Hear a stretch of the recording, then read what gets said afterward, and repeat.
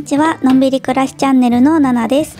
30分で作る献立の動画をショート動画でよく投稿しているのですが本当に30分でできるのとかノーカットで見てみたいってコメントをちょこちょこいただいていたので今日はリクエストにお答えして人気だった献立の30分バージョンを作ってみました。さすがに定点カメラだと飽きるし分かりにくいかなと思ったので小型カメラをお腹に巻きつけて一人称視点で私目線で何をしてるかがわかるように撮ってみました。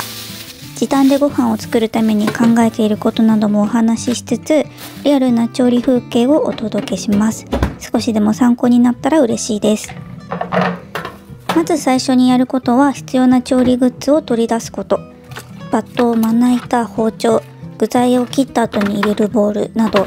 結構行き当たりばったりでやっちゃうと切った具材を入れるものがない。とかになりがちで汚れた手で扉触れないから一旦手を洗ってタオルで拭いてってやってると意外とちりつもでロス時間が増えるので必要なものは最初に全部出しちゃいます野菜などの具材も何度も冷蔵庫の開け閉めをするのが嫌なので可能な限り出しています野菜などは私結構まとめ買いすることが多くてその都度洗うというよりかは買ってきたら冷蔵庫に収納する前に一気に全てを洗ってしまって乾かすなり拭くなりしてすぐ使える状態にしてからアイラップに入れて保存しています。多分私はこれでだいぶ時間を短縮できてるんだと思います。ナスは今日は味噌汁に使います。縦半分に切ったら斜めにスライス。ナスを味噌汁に入れると結構色が抜けて濁ってしまうので少しでも綺麗になればと思って水にさらしてアク抜きしてます。味に問題はないので面倒だったらそのままでも OK です。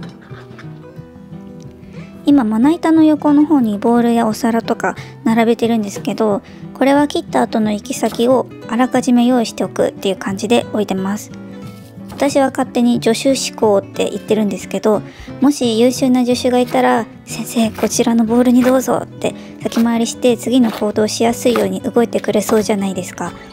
でも助手なんていないし一人でやるしかないので先回りして動いてくれる助手がいるようなつもりであの自分が動く自分が先に出しておくみたいな。ちょっと言語化が下手すぎて伝わるかわからないんですけど次の一手を想像して準備しつつ進めるっていうのが効率よく進めるコツかなと思ってます。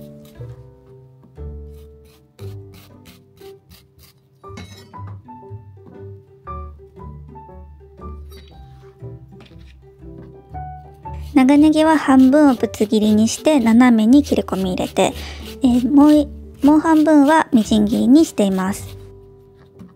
長ネギのみじん切りは表と裏に斜めの切れ込みをこういう風にざっくりと入れていってそしたら端からザクザク切っていくと結構簡単に細かくできます。何パターンかみじん切りのやり方ってあると思うんですけど私はこの方法が一番やりやすくて好きです。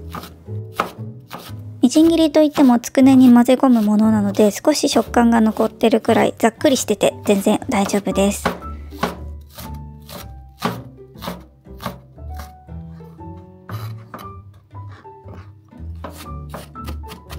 この後お好みの細かさに調節します。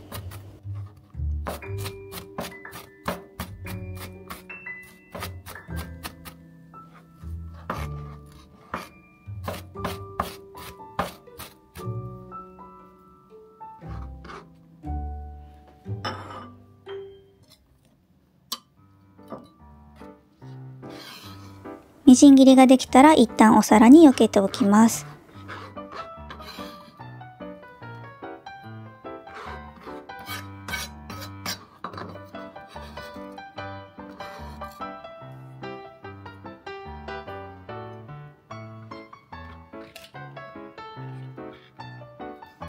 青い部分も使い切りたいので薄く切って味噌汁に入れて彩り要因にします。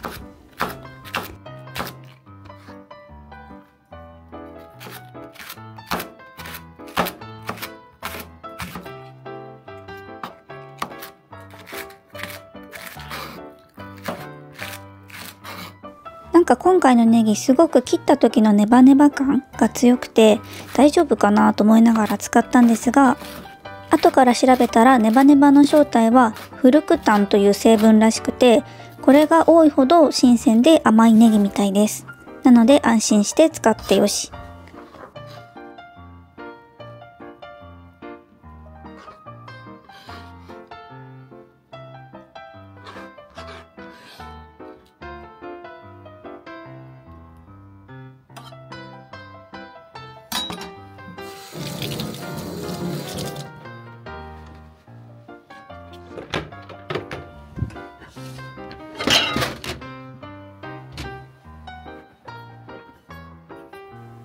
ぶつ切りしたネギは鍋の中に入れておきます。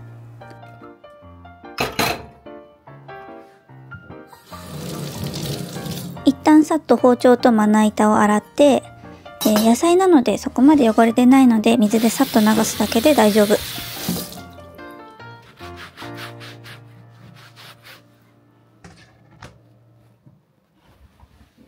次はサラダ作り。豆腐はドレッシングの味が馴染みやすくなるために電子レンジで水切りをします。耐熱容器を準備してキッチンペーパーで包んでいきます。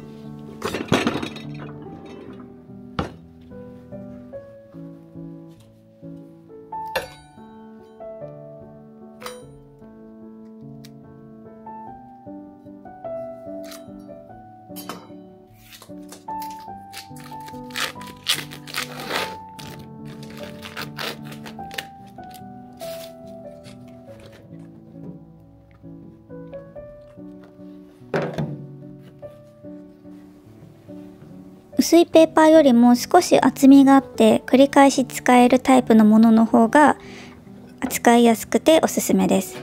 電子レンジに入れて蓋はせずに2分半ぐらいで水切りができます。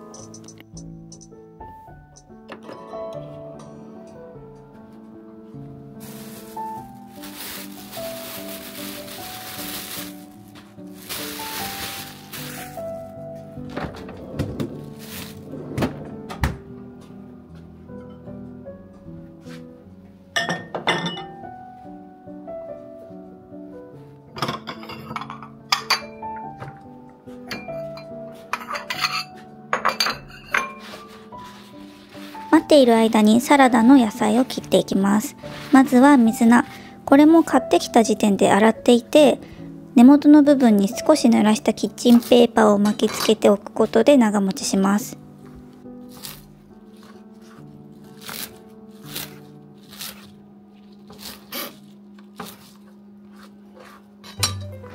これをさっと食べやすいサイズにザクザクと切っていってお皿に盛り付けていきます。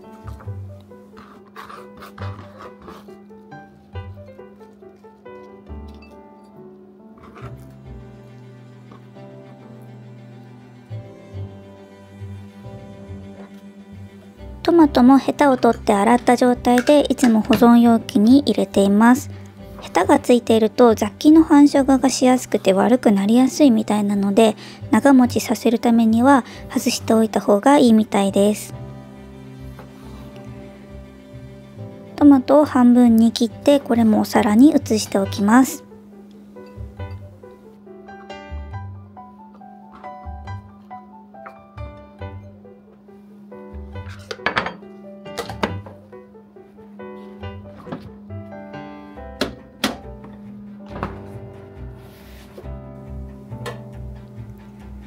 が終わらないので大葉も切っちゃいましょう。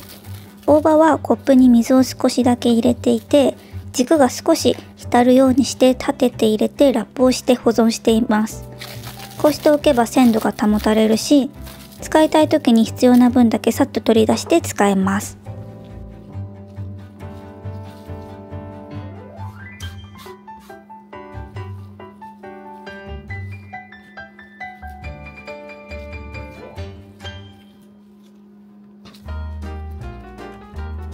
大葉は重ねてから丸めると厚みが出て切りやすくなります。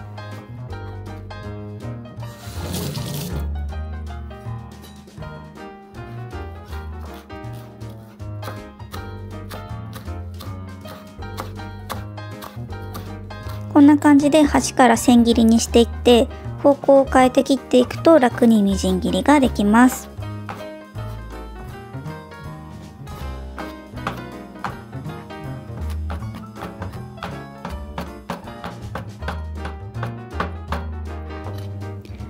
手をシンクにはみ出させてお皿を潜り込ませるようにすると具材の移動がとても楽です。丸いまな板だとこれがすごいやりやすい。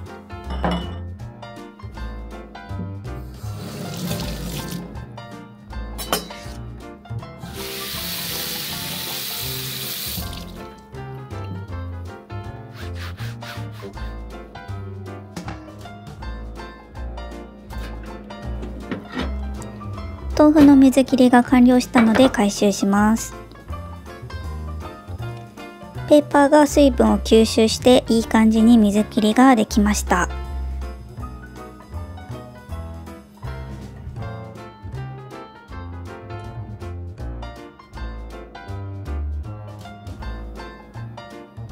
今回は豆腐の半分はつくねのかさ増しに半分はサラダにのせて使おうと思います。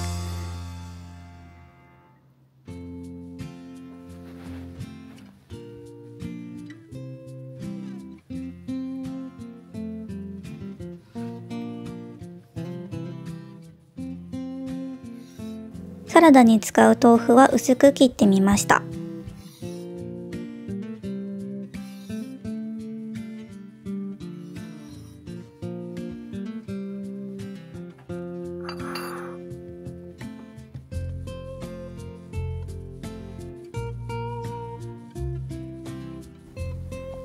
ちょっと豆腐をいつもと違うのを買ってみたら柔らかかったみたいでちょっと崩れちゃった。う少し水切りの時間長めにしてもよかったかも。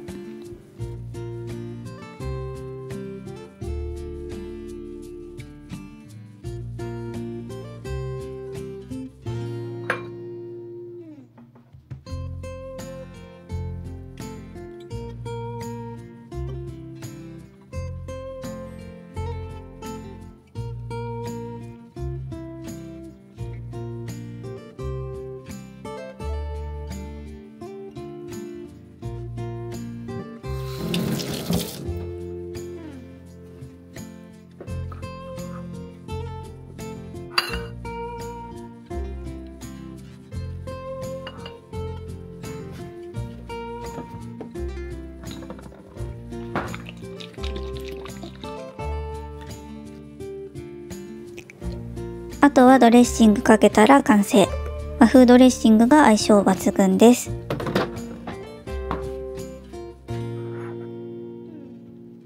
一旦テーブルの方に避けておきます。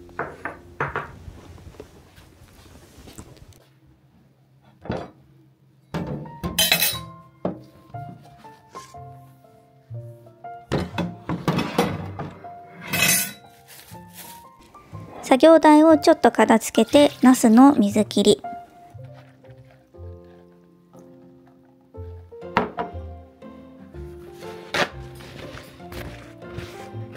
この後炒めるので水気をさっと拭き取っておきましょう。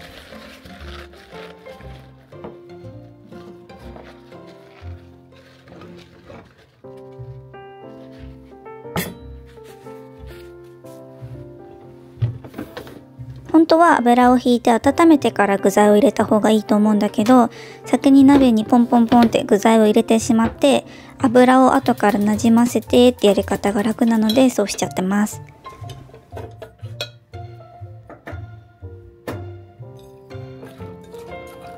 コーティングしっかり系のお鍋のいいところ。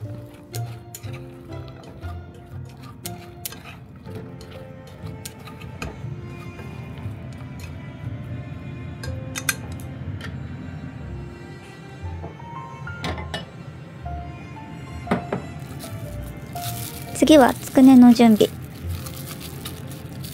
ひき肉は結構大容量パックで買うことが多くてだいたい 100g ずつラップで包んで冷凍してます。で使う分だけ冷蔵庫で解凍。忘れてた時はレンチンか解凍プレートを使ってます。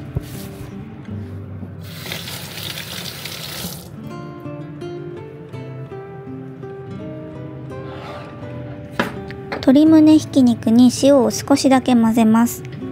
ハンバーグとかでもそうなんですけどだいたい1%のお塩。お肉が 200g だったら 2g ぐらいが目安。まああの目分量でいいです。なんとなくで。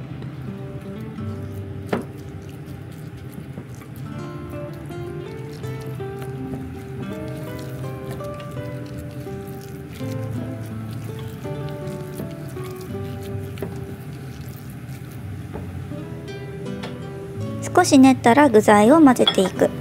みじん切りした長ネギと大葉豆腐を入れて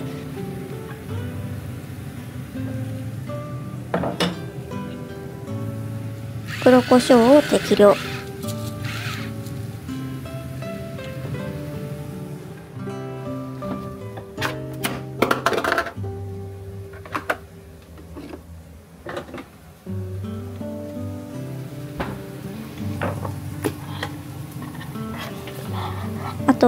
片栗粉を大さじ1あ小さじ3と大さじ1は同じなので覚えておくとわざわざ大さじのスプーンを出さなくて済むので便利です。あと生姜を小さじ1今日は桃屋の刻み生姜を使います。桃屋のやつすっごい美味しくてもう何度もリピートしてます。おすすめ。あとは滑らかになるまで混ぜていきます。私なるべく手を使いたくない派なのでゴムベラで 混ぜてます。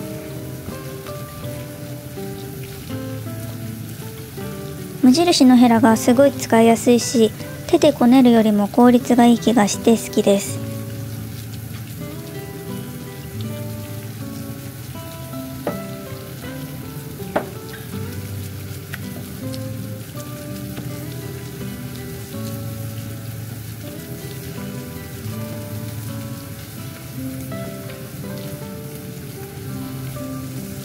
だいたいこれくらい滑らかになったら OK です。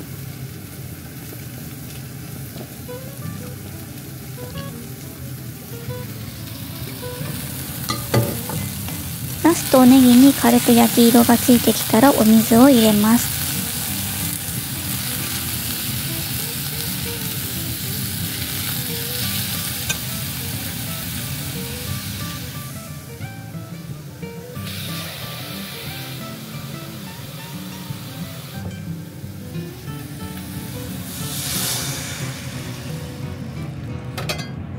して本だしを少し。お出汁取った方がいいよなと思いつつ便利なのでほとんどいつも本だし使っちゃう。マーナの調味料ポットに移し替えて使ってるんですけどこれが本当に便利。冷蔵庫で保管してるんですけどワンタッチで開くし計量もしやすくて一瞬で使える。さっと混ぜたら火にかけます。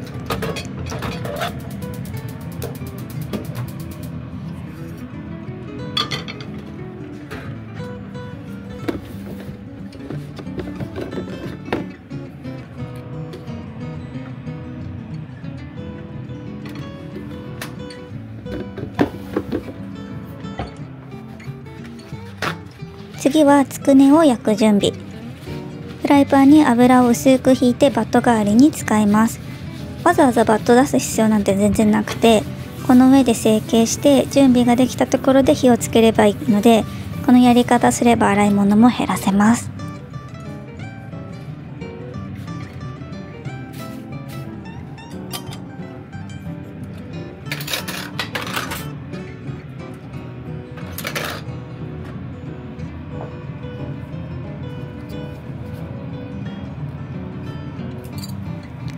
くねの成形はいつもスプーン二刀流まずはだいたい同じ分量になるようにざっくりと何個かに分けて後から形を整えます。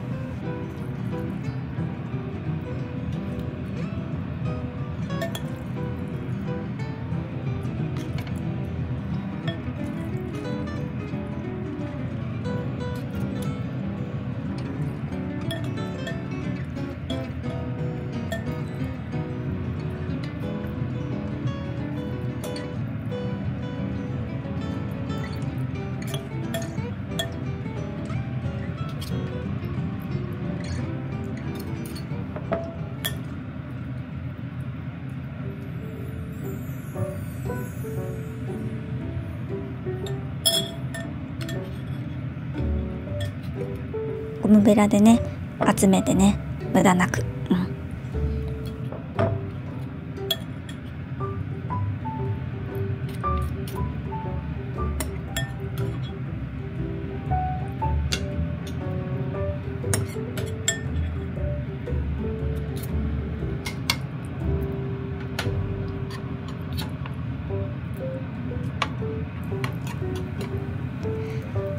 丸みを使って外側から内側に向かってふわっと押さえるようにするといい感じに丸く作れます。つくねの種を結構柔らかめに作ってるので手で丸めなくてもスプーンでそっと整えるだけで作れます。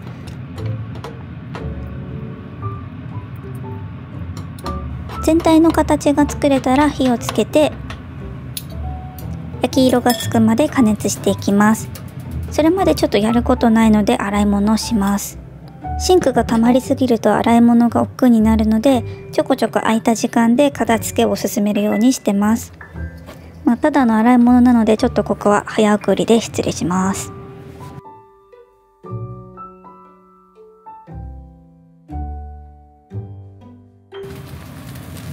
焼き色がついたらひっくり返していきます。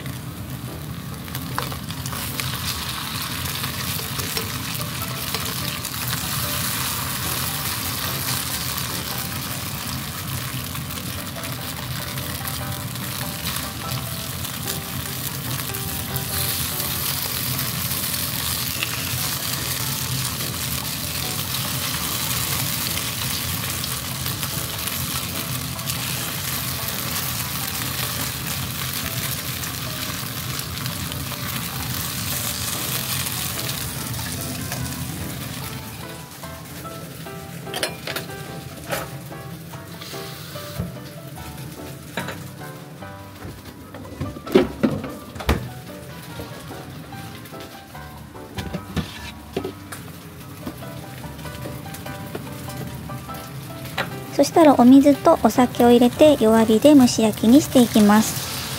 お酒を入れるのがふんわりと仕上げるポイント。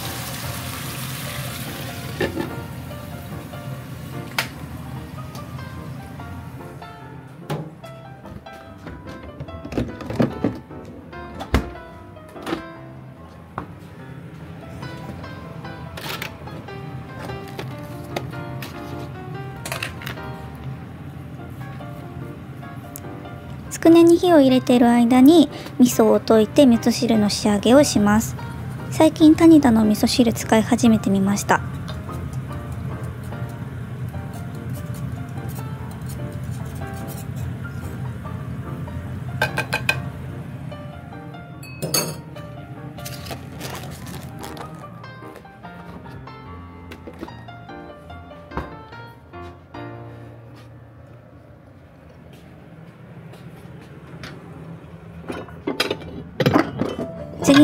の準備。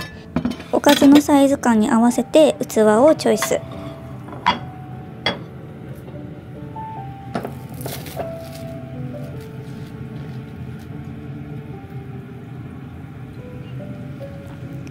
大葉を添えて彩りをプラス。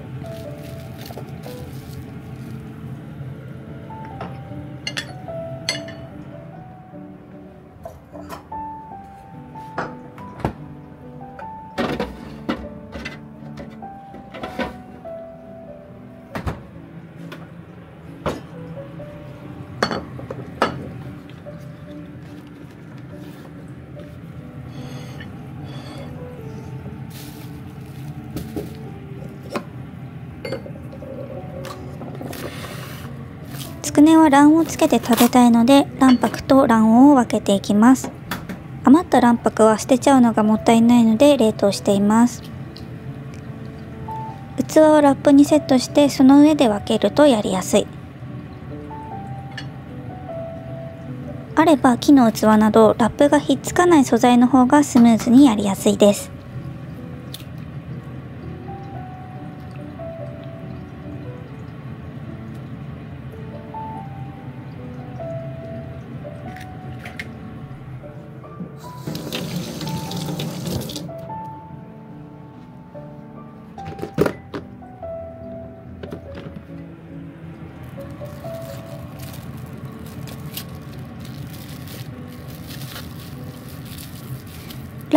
包んでくるくるねじったら輪ゴムで留めて冷凍庫に入れます。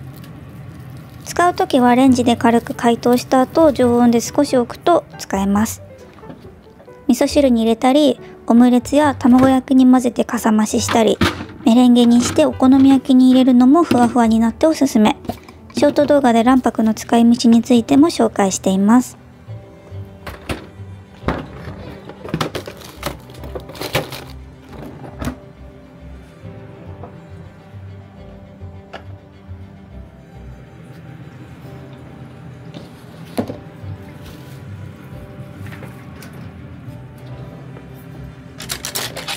お盆や箸を用意したり、お米をよそったり、食卓の準備を始めます。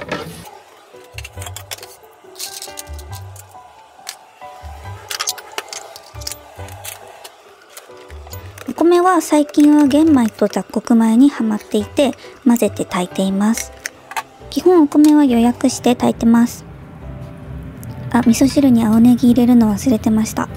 味噌汁に入れて温めて緑色が綺麗に発色したらこれで味噌汁は完成です。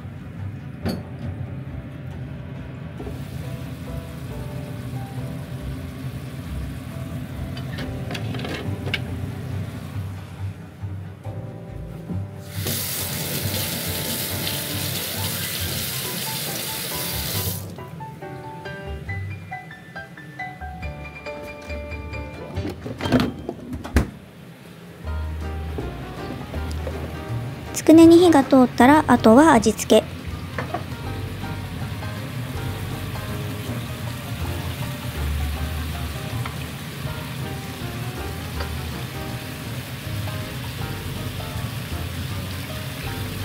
お砂糖大さじ1とみりん酒醤油を大さじ2ずつ入れます。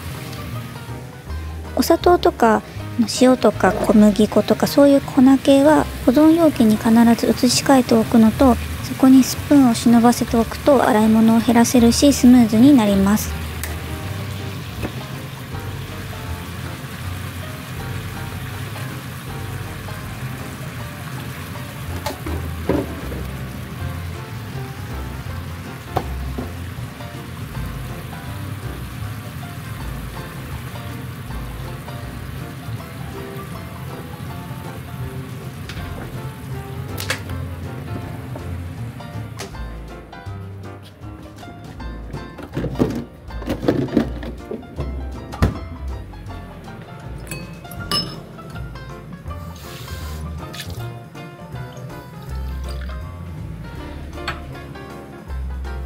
タレはこのままでもいいっちゃいいんですけど少しとろみがあった方がよく絡んで美味しいので水溶き片栗粉を混ぜてみました。片栗粉小さじ1と水は大さじ1くらい。まあどうせあの蒸発して飛んじゃうんで大体で大丈夫です。片栗粉のまま入れてしまうとダマになってしまうので最初に水で伸ばしてから入れると綺麗に仕上がります。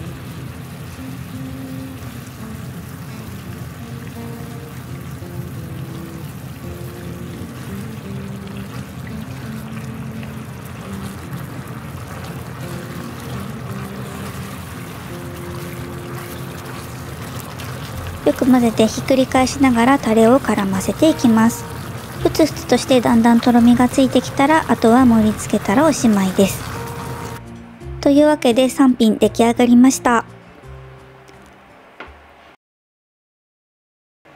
つくねは豆腐を入れているのでふわふわでタレが絡んでとっても美味しかったです。卵黄につけて食べるとマイルドでほっぺが落ちる。